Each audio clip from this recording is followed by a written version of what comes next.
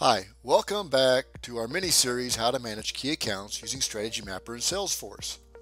In this video, we're going to discuss documenting your meetings. Scheduling meetings with customers hard enough, so when you get one, make sure you document it. Not just notes, but who, what, when, and why. This is the sales intelligence required to maintain a strong relationship in a key account. Well, again, I'm in uh, big data analysis and in this video, we're going to talk about capturing some meeting information and then populating the plan with that information. So I'm just going to go down here and look in activity history because I had created uh, a meeting uh, beforehand with uh, the customer, the account, and I just put some information in there. So you see it brings me into my meeting page. So some of the things are I've got my meeting attendees and here's where I can put you know their role and stance, uh, any notes about this individual, why is somebody for, uh, what's their role, why is somebody against, and it color codes them uh, based on uh, their their buying signals, their stance, or opinion, and then I can even change the icon to a person's face here. I can also take notes, both public which doesn't matter. Everybody can see them that's in, in the meeting if they get out. Internal notes is really only for my team's consumption.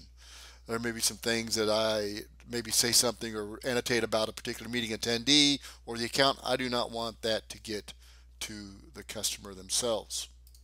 One of the key things too is this actionable intelligence or the sales, sales intelligence that you're gathering in your meetings. Some of the things you can gather are the decision date, uh, if it's related to a particular project or product or initiative that they're working on. Uh, is it budgeted? Referenceable customer actions coming out of the last meeting and actions are coming out of this meeting, which you've agreed upon, and decisions you've agreed upon. Open issues, business drivers, technical drivers, things like that. Uh, customer requirements, for example, uh, maybe they have a requirement to be 100% native Salesforce. We can annotate that, put a comment in there what products do we believe uh, meets that requirement. We can say strategy mapper and we say that it meets that requirement 100%. And I'm going to go ahead and save this. And now we're building the customer requirements. Uh, who are the competitors, their strengths and weaknesses? Are the pain points that we've discovered uh, what the customers told us or we've identified our strengths within the account, our weaknesses, obstacles we're going to encounter, we're encountering, objections we're encountering, and the why buys. And we save all that and we put all this in the plan. Uh, when you click completed on the plan, it's red before you click it. When you click completed, it turns green.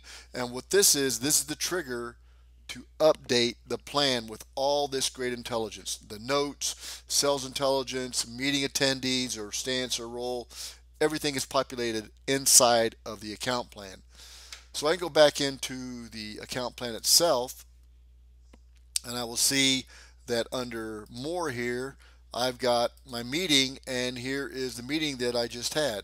I've got my notes.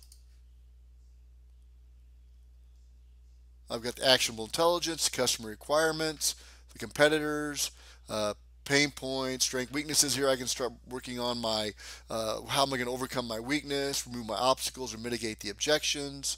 I've got all this great information right here. And it not only feeds uh, this meeting page, but it also builds out the customer team with their stance and role.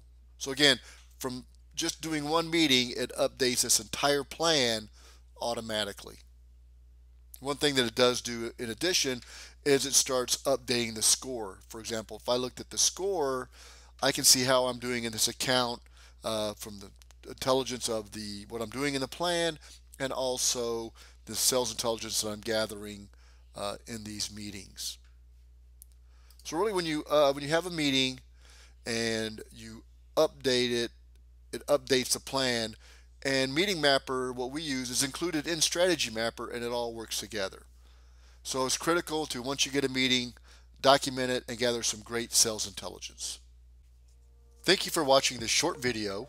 If you're a Strategy Mapper customer, thank you for your support and loyalty. If you'd like to become a Strategy Mapper customer, please visit our website, pointintime.com, search for us on the Salesforce App Exchange Strategy Mapper, or contact us, email us, or call us.